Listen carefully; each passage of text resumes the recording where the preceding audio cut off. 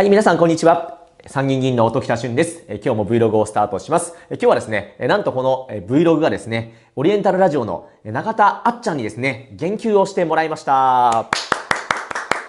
ありがとうございます。そしてチャンネル登録者がですね、いきなり300人から400人ぐらいポーンと増えまして、私がやってる YouTube 成形大学というですね、中田さんのパク、や、オマージュですね。このオマージュをして作ったですね、政治経済をわかりやすく語るというですね、コンテンツが見ていただいたそうで、いや、面白いですねっていうことも言っていただいて、本当フルネームで上げていただいてありがとうございます。えということで、まあ非常にこの中田さんのチャンネルから来たという方もいると思うんですが、引き続きこちらも頑張って更新していきますので、いろいろと見ていただければと思います。まあそうした中でですね、まあ、それも非常に嬉しいことではあったんですが、ちょうど今ですね、この中田あっちゃんの YouTube 大学が、まあ、非常にこう、ツイッター上を中心にですね、まあ、批判にさらされているということで、その点について私のちょっと考えみたいなものを述べたいというふうに思います。で、中田っちゃんのこの YouTube 大学なんですけども、もう本当にいろんなね、もう IT から歴史から古文とかまでやったりとか、で時事ネタとか、で政政局とかね、もういろんなことやってらして、本当すごいなと思いますし、特にもプレゼンテーションがもう抜群に、まあそれはもう芸人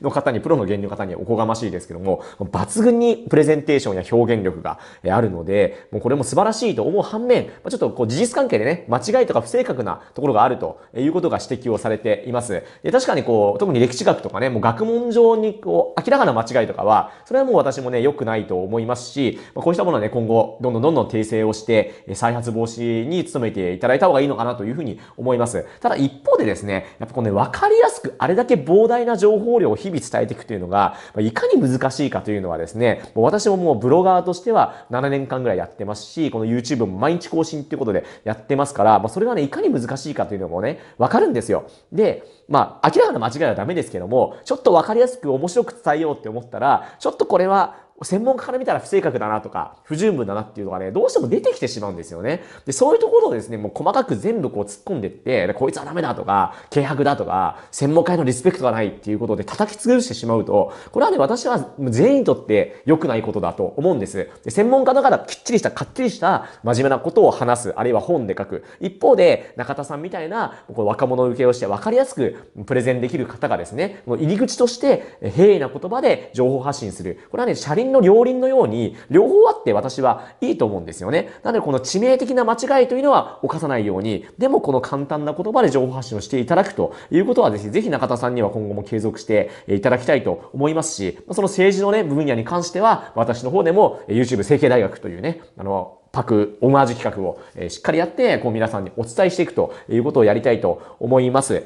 でですね、私も中田さんとはですね、実はあの、ビビットという TBS の番組で何度かご一緒したことがありまして、まあ、本当に真摯に勉強されてる方だなという印象を持ちましたし、例えば CM 中とか始まる前とかも、まあ、都政って今本当のところどうなんですかとか、わかんないことがあれば聞いてくるし、そういうね、誠実な態度を持たれてる方だというふうに私は思いました。今、例えばこの、まあ、岩田敦さんとかね、政治学者で私も仲良くしてもらってるんですけども、まあ、本当中田さんは軽薄でダメだと。でも例えばウーマンラッシャーの村本さんは、まあ、思想は全然違うけど、あの、勉強熱心だから彼はいいとか、そういう感じで、あの、評価されてたりするんですけども、私は逆にウーマラッシュアの村本さんはお会いしたことないから、そこはわからないですけども、中田さんは実際お会いして、それはね、専門家から見れば、まだまだ不勉強なこととかはあるかもしれませんけども、そういうね、学ぼうという姿勢はあると思いますし、村本さんも、やっぱりこの批判されると思うんです、彼も、政治とか社会問題をネタにしてね、漫才するなんかとんでもないとか言われていますけども、やっぱ学ぶ姿勢があるということは、私は非常にいいと思いますし、そういう取っかかりとしてね、お笑いで政治の問題意識を広げていくということとは、非常に尊いことをやってらっしゃると思うので、村本さんも中田さんも、こういう方々というのがですね、どんどんこの政治の話、社会の問題点、